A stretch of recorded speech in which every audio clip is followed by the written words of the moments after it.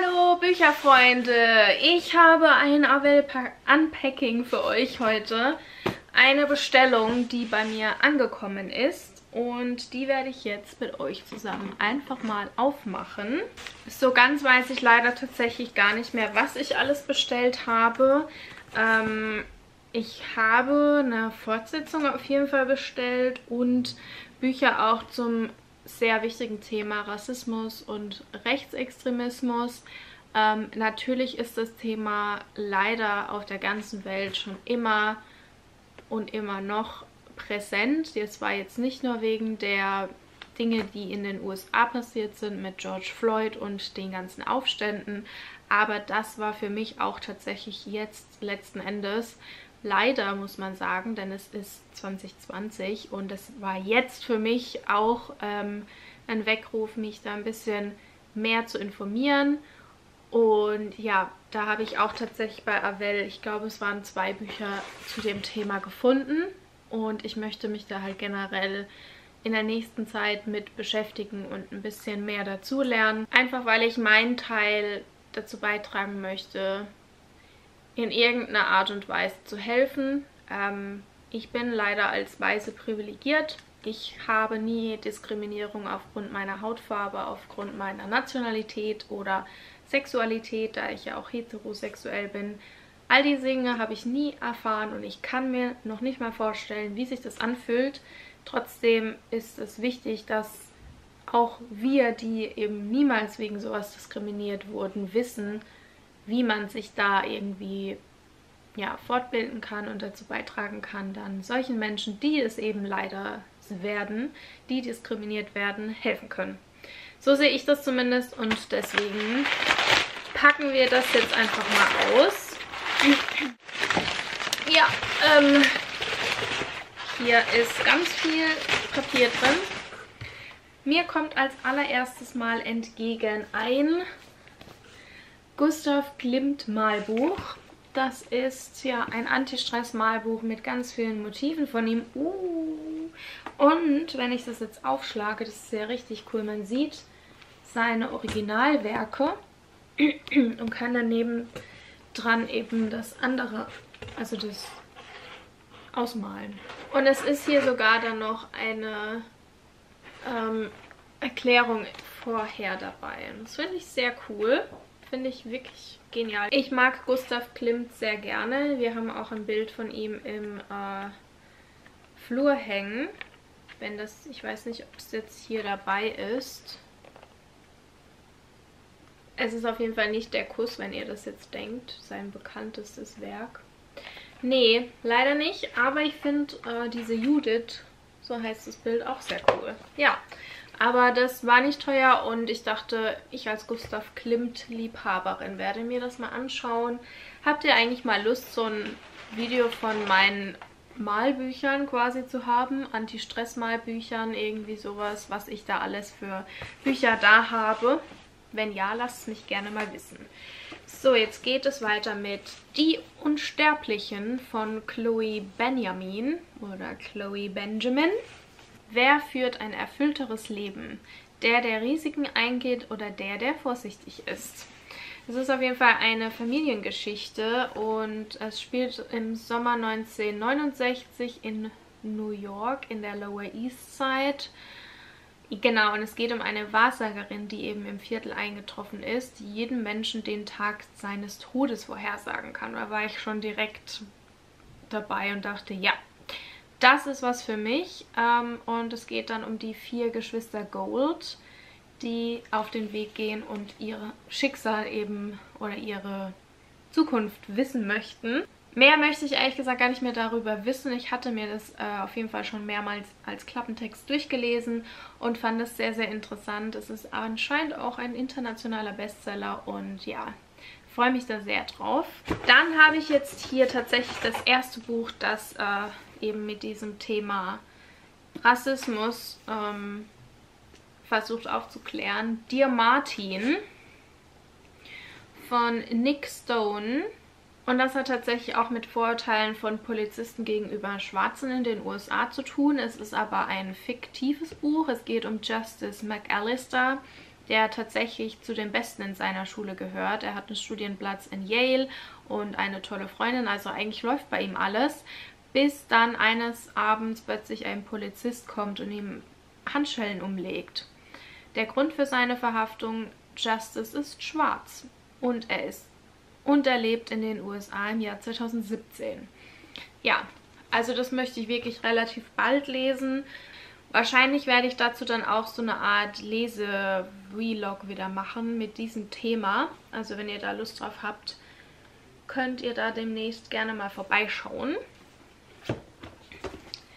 Der Vogelgott ist hier noch. Das habe ich bei einer YouTuberin jetzt vor einer Weile auch gesehen. Ich glaube, es war Bookmarked. Bin mir aber nicht so ganz sicher. Und das soll wirklich genial sein, denn es hat mit einer anderen Religion, so eine Art Sekte zu tun, bei dem man eben einen Vogelgott anbetet. Genau. Die Mitglieder einer wissenschaftlich orientierten Familie werden durch eine zufällige Entdeckung auf einem Kirchenbild in den schwer durchschaubaren Mythos eines Vogelgottes hineingezogen. Mit einem Sog, dem sie so wenig widerstehen können wie der Leser dieser Geschichte. Ich habe mir da auch ein paar Kritiken dazu durchgelesen und das hat sich alles wirklich sehr gut angehört. Es ist ein total kleines, süßes Buch. Ich meine, wenn ich jetzt Diamartin daneben halte, seht ihr es vielleicht. Ja, und ich bin sehr gespannt drauf, wie das sein wird. Ich denke, das lässt sich relativ schnell lesen und hoffe, dass es mir gut gefallen wird. Jetzt blinkt mein, mein Akku. Warum jedes Mal, wenn ich so ein Video drehen möchte? Ich werde ihn jetzt ein bisschen aufladen und dann weiter drehen. Okay, wir sind wieder zurück. Ich habe ein bisschen aufgeladen. Ich hoffe, das reicht jetzt für die restlichen Bücher. Ähm, aber ich habe nicht nur Bücher gekauft, sondern auch eine Kleinigkeit, die zum Thema Bücherliebhaber passt. Und zwar habe ich mir diese Tasse hier noch bestellt. Ich liebe Bücher. Die kostet eigentlich 8 Euro und ich weiß gar nicht, für wie viel ich sie bekommen habe, aber für deutlich weniger. 3 Euro, 3,95 Euro. Und ähm, vielleicht könnt ihr es sehen, da ist gar nichts dran. Da ist irgendwie noch nicht mal die Verpackung komisch oder so. Ich mache es jetzt mal auf.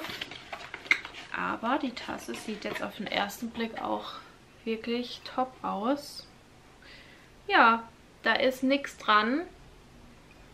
Einfach nur eine Tasse mit diesem auf äh, mit dieser Aufschrift. ja, ähm, finde ich auf jeden Fall sehr cool. Und da kann ich dann auch immer schön meinen Tee draus trinken oder meinen Kaffee. Gerade jetzt im Homeoffice verbrauche ich so viele Tassen, da ist es auf jeden Fall sehr gut. Dann habe ich mir, wie ich schon angesprochen habe, am Anfang ja noch eine Reihenfortsetzung gekauft und zwar ist das Die Schattenschwester von Lucinda Riley. Ich habe jetzt vor kurzem erst äh, Die Sieben Schwestern, also den ersten Teil davon, als Hörbuch gehört und fand das wirklich richtig, richtig gut und habe den zweiten Teil da und das ist jetzt der dritte.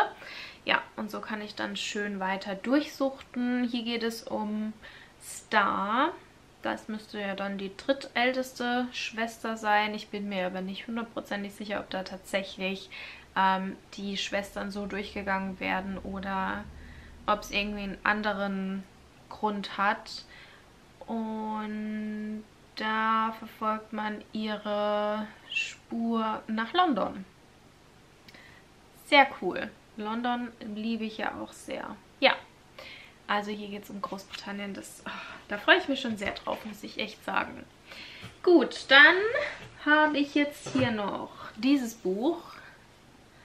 Sieben Arten Dunkelheit von Christian von Asta.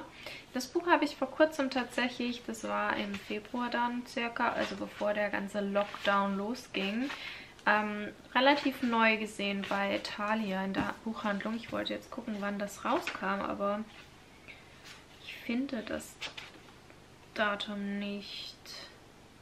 Hm, hier steht 2019. Vielleicht war das dann aber doch eher Ende 2019. Aber es ist auf jeden Fall ein Buch, das ich ähm, erst vor ja, einigen Monaten quasi neu gesehen habe.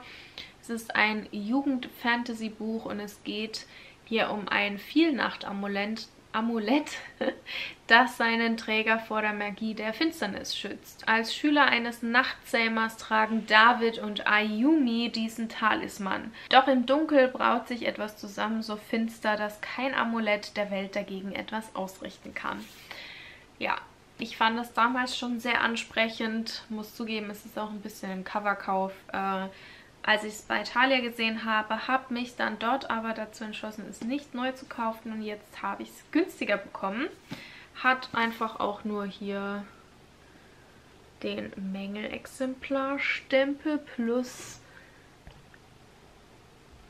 hier seht ihr es jetzt endlich besser. Diese sieht aus wie so abgeknabbert irgendwie. Ja, also so viel dazu.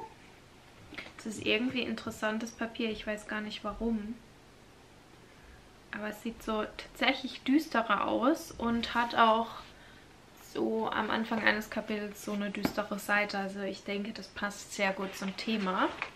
Mit anderen Worten, Ich ist auch ein Buch, das mir schon öfter begegnet ist. Ähm, es ist ein Buch aus dem Magellan Verlag und hat mit glaube, Zwangsgedanken zu tun.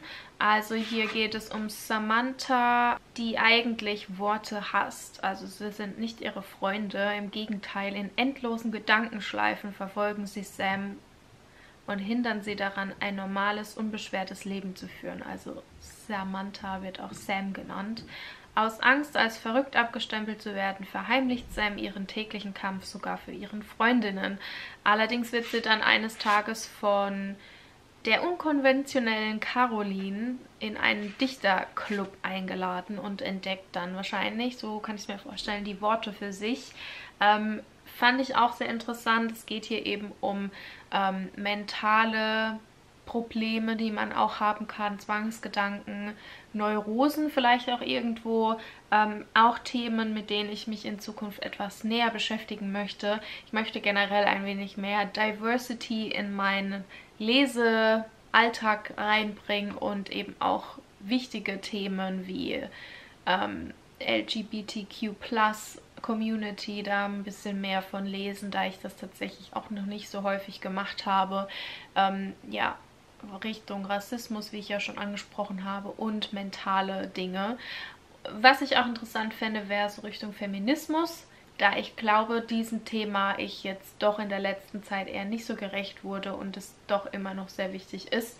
Aber das sind alles Dinge, die dann in Vlogs kommen. Vielleicht habt ihr ja da Bock drauf. Dann habe ich jetzt hier noch ein wirklich schönes Buch, wie ich finde. Das Jahr der Katze von Christoph Peters. Auch ein Roman, der mir schon öfter begegnet ist. Und auch hier ist nur der Mängelexemplarstempel drauf. Wieso will das denn nie fokussieren von alleine? Eigentlich hat das doch einen Autofokus, aber ich denke, ihr könnt es ganz gut erkennen. Es geht hier auf jeden Fall um Japan, beziehungsweise es spielt in Japan und es geht um die japanische Yakuza, also diese Mafia-Gruppe in Japan. Ähm, war früher eine ehrenwerte Gesellschaft, heute ist es eben eine Organisation gewöhnlicher Krimineller verwickelt in Drogenhandel und schmutzige Immobiliendeals. Staat und Polizei haben die jahrhundertelange Toleranz und Koexistenz aufgekündigt und der Yakuza den Kampf angesagt. Da kommt es äußerst ungelegen, dass Fumio Onishi bei einer Aktion im Auftrag der Yakuza in Berlin eigenmächtig übers Ziel hinausgeschossen ist. Auf der Flucht vor den deutschen Behörden hat Onishi sich zwar mit seiner deutschen Freundin Nicola Nicola, jetzt wollte ich das auch ein bisschen japanisch angehaucht aussprechen, nach Tokio absetzen können. Doch hier erwartet der Yakuza-Boss Takeda ein unmissverständliches Opfer von ihm. Ja, sehr rasant spannend, so hört sich zumindest an. Ähm, Gerade so japanische Kultur finde ich auch immer sehr interessant. Ich habe ja auch das Buch Ich, Tochter eine, eines Yakuza. Ähm, ja, und dieses Thema, generell Japan, ich weiß nicht, das interessiert mich immer mehr. Ich habe totale Lust, irgendwann mal nach Japan zu gehen, wenn es denn wieder möglich ist, sicher zu reisen. Und warum dann nicht reisen mit solchen Büchern? Dann habe ich hier jetzt das zweite Buch, ähm, das mit dem Thema Rassismus zu tun hat. Und zwar soll das angehaucht an Shakespeares Othello sein und eben mit dem Thema Rassismus bzw. Diskriminierung aufdecken. Ähm, hier geht es um Osei, der aus Afrika kommt und neu in der Klasse ist. Das gefällt natürlich vielen seiner weißen Mitschülern und Lehrern nicht. Als sich dann aber ausgerechnet das beliebteste Mädchen mit ihm anfreundet, zieht der eifersüchtige Ian rot. Es ist dünner, als ich gedacht habe. Und ja, ich bin sehr gespannt, mich diesem Thema etwas anzunähern und da mehr drüber zu lernen. Bin natürlich mir dessen bewusst, dass es extrem sein wird, aber es ist wichtig, auch da ähm, ja, sich zu informieren und diese schlimmen Themen sich damit einfach auseinanderzusetzen. Oh, das habe ich ganz vergessen. Ich habe ja noch zwei weitere Nicht-Büchersachen, die aber auch mit Büchern zu tun haben. Und zwar habe ich mir zwei Lesezeichen noch gekauft. Zum einen hier so ein ähm, Schmetterlingslesezeichen. Das weiß ich noch nicht unbedingt, ob ich das jetzt selbst behalte oder dann halt mal irgendwie verschenke oder sowas, äh, weil ich bin jetzt nicht so der größte Fan von Schmetterlingen.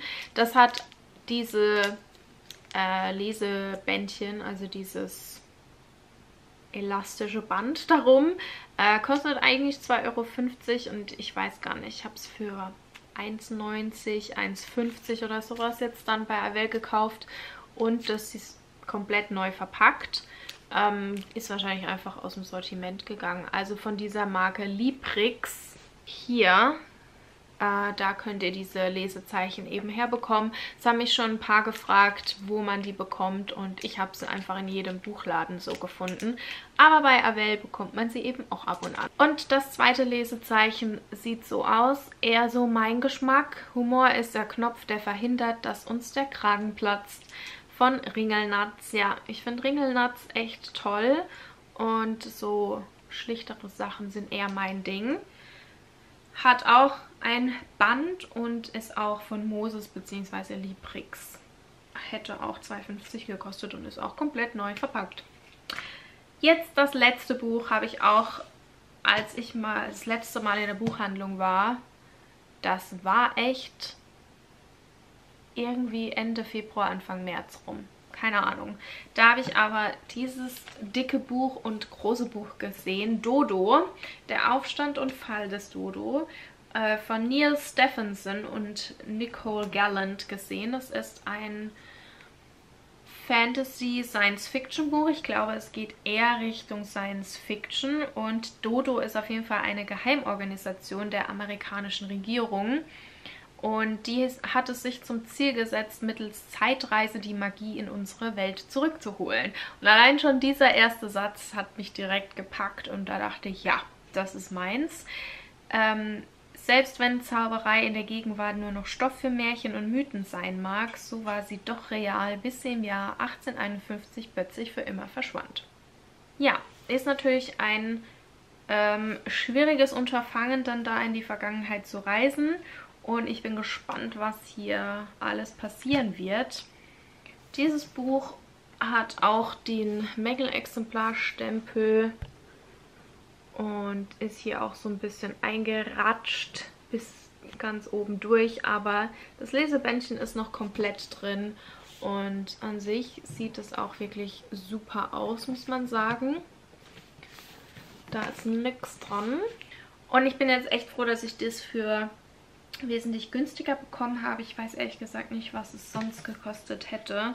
Ich gehe nämlich schon davon aus, ein bisschen über 20 Euro, da es so ein dicker Schinken ist. Und ja, jetzt kann ich wieder Science Fiction lesen. Ist aber nicht so, dass ich nicht auch noch hier was hätte. ja, wie immer, ne? Das war mein Unpacking. Ich hoffe, es hat euch gefallen und dass vielleicht das ein oder andere für euch dabei war, das euch auch angesprochen habt, habt ihr in letzter Zeit auch bestellt. Wenn ja, was war dabei? Und ja, dann hoffe ich, dass wir uns im nächsten Video wiedersehen. Macht's gut bis dahin. Tschüss.